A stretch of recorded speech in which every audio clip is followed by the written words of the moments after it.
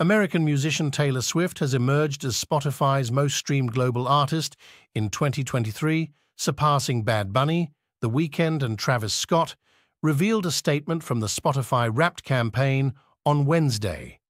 sharing a reel of Swift's song, Cruel Summer, from her 2019 album, Lover. The popular music streaming platform